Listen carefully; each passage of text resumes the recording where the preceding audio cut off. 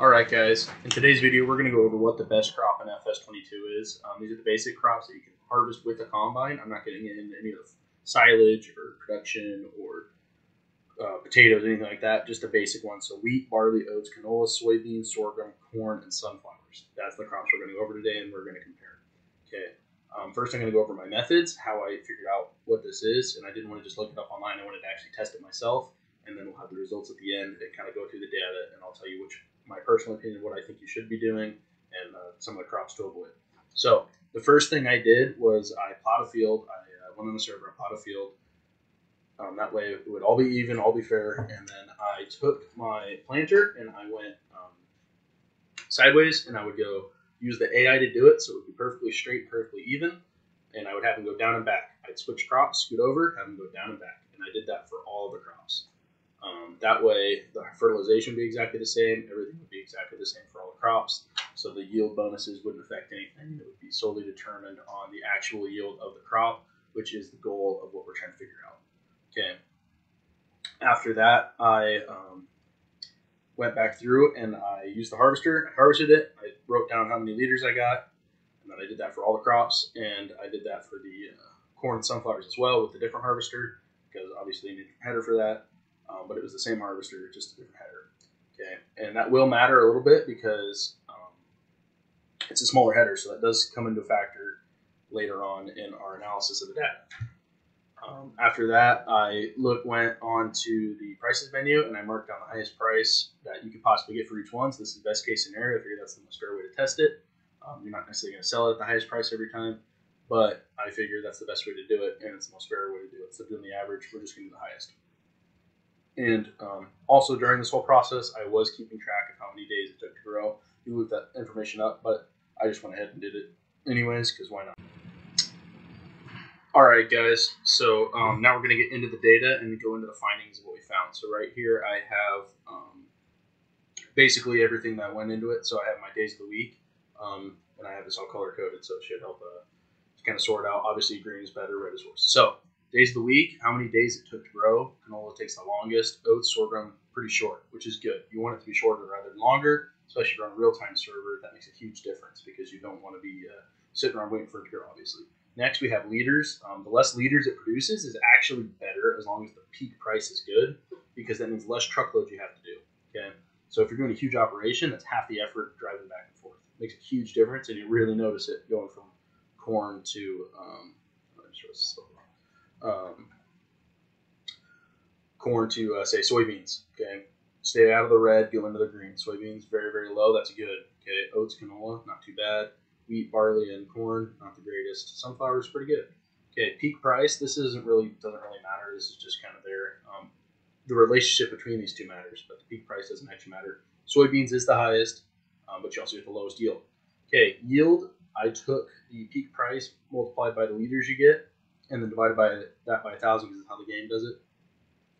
Um, obviously, green is the best. So from our data, we have found that um, soybeans is the most profitable per acre crop you can do.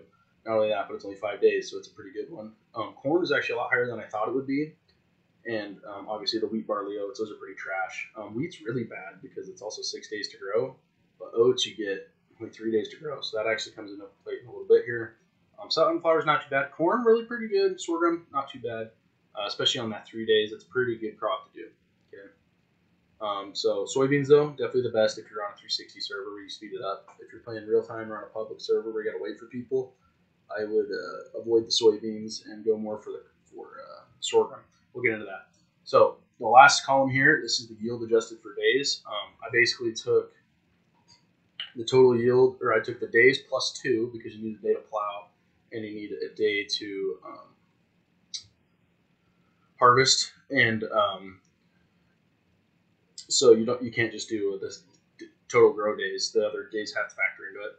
And then I divided that by 12, or I took 12 divided by that to get the basically how many harvests you can get per year. Multiply that by your yield. So in all these cases, you're getting more than one yield per per uh, per season. So like the sunflowers, you essentially can get two harvests in or uh, not so uh, the corny or corny wood. We get pretty close. Anyways, So as you can see here, sorghum is actually the best for that. And now if we look at our data on why, it only takes three days to grow, which means you can get a lot more crops in per year. And it's a pretty good yield. You don't, you, it's pretty heavy and a pretty low peak price, but you can get twice as many in as you could another crop. So it actually ends up with the most um, money per year. Soybeans, very close coming in a second. Um, it's medium on the days per week. Okay, at five, that's not great, but not bad. But it's also by far the highest yielding one, so you'll actually earn a lot more money doing that. Oats is not too bad, only because it only takes three days to grow, but the uh, the price is not great, so I would actually stay away from that. If you're gonna do that, just go to sorghum, get a lot more money. Um, corn's decent, okay. Sunflower's not great. Wheat's really bad. Just stay away from wheat in general. It's pretty trash. It takes six days to grow for some reason. You don't get very much, and it's not worth very much. Okay.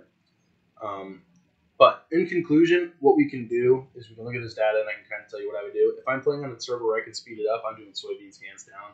Okay, it does not take much effort to haul it. Okay, you can you can uh, truck it really quickly. Don't worry about that.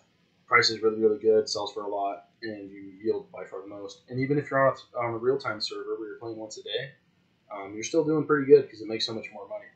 But if you are playing real time server, sorghum's the best. That extra day you don't have to spend cultivating uh, I mean, uh, those two or three days you don't spend growing, you can get double the crops in. Makes a big difference on the back end where you make a lot more money.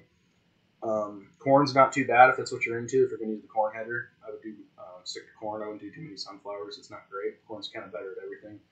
Um, but it is a lot to truck back and forth.